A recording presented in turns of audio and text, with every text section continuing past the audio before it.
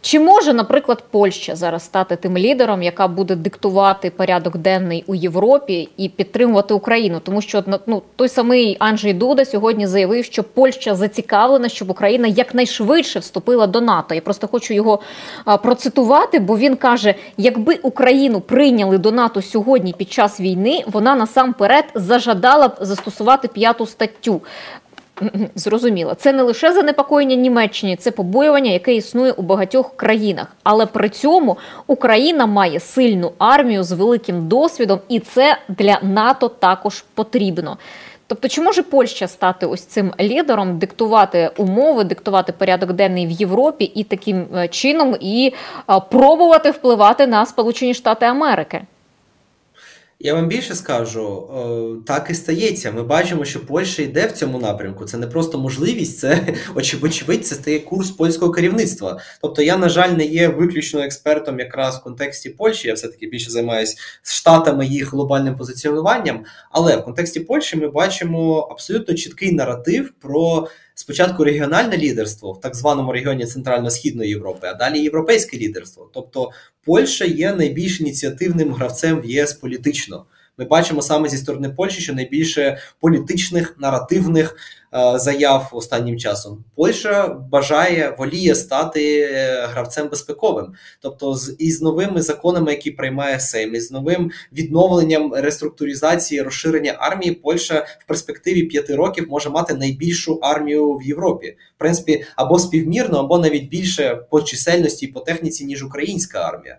Ми бачимо, що Польща намагається відібрати в Німеччини її сферу впливу, тобто якраз ті центральноєвропейські країни, як там Австрія, mm-hmm. Чехія, які зазвичай перебували в зоні впливу економічному і політичному Німеччини. Тому так, Польща абсолютно чітко ставить свій курс не просто на регіональне, а на загальноєвропейське лідерство. І незважаючи на те, що Макрон досі сприймає свою зовнішню політику в ідеалах Шарля де Голля і ідеалів Франції, яка як казав Деголь, Франція має бути великою або Франції не буде взагалі.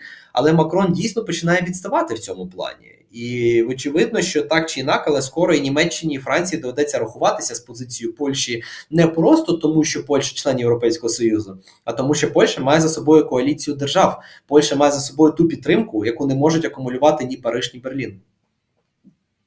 Яким чином це на нас якраз може вплинути, тому що Польща є таким великим партнером і другом насправді України, є членом НАТО. Яким чином вона може допомогти нам такому разі? А це дуже просто. Ви розумієте, що Польщі найбільш вигідно буде, що Україна стане членом обох цих альянсів, просто тому що у Польщі з'являться союзник, який багато в чому їй завдячує.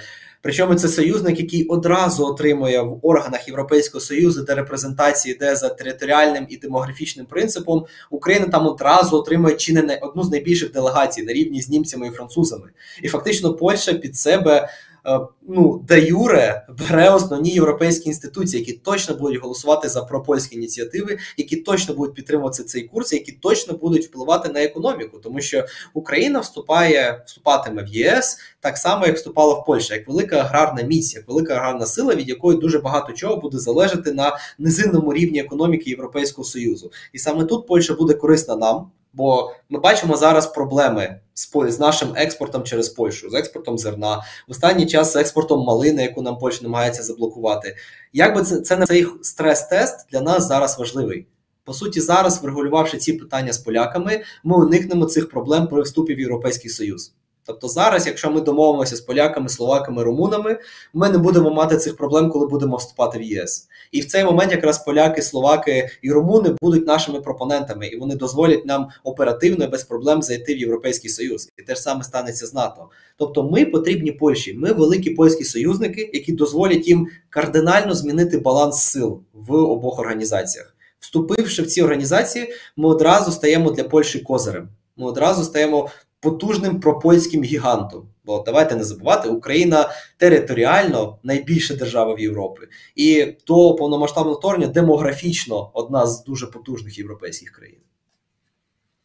Дивіться, а е, чи можна тут говорити як про якісь альтернативи вступу в НАТО для України? Чи немає? Можливо, я прозвучу як атлантист, альтернатив нема, не існує, існувати не може. З однієї простої причини ядерна зброя.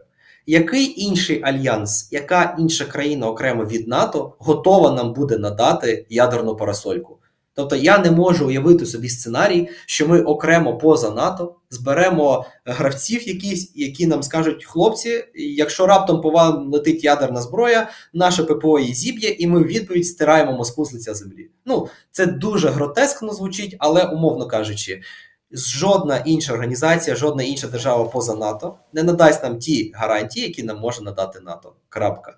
Навіть якщо це буде лише ядерні гарантії. Навіть якщо тільки ядерна парасолька утвориться над Україною в форматі нашої співпраці з НАТО, цього буде достатньо для того, щоб Україна отримала набагато ширші і кращі гарантії безпеки, і найголовніше, щоб Україна отримала можливість уникнути повторення російської агресії. Адже якщо ми дивимося на перспективу довгострокову, якщо ми хочемо, щоб наші діти не мали воювати з російськими оркськими полками, якщо ми хочемо, щоб Україна розвивалася нормально, нам потрібно убезпечити наше майбутнє покоління від повторення російської агресії, і саме НАТО з його ядерною парасолькою, з його статтею номер 5 з його розвитком і інноваціями, це те, що нам дозволить не допустити повторення жахів російської агресії.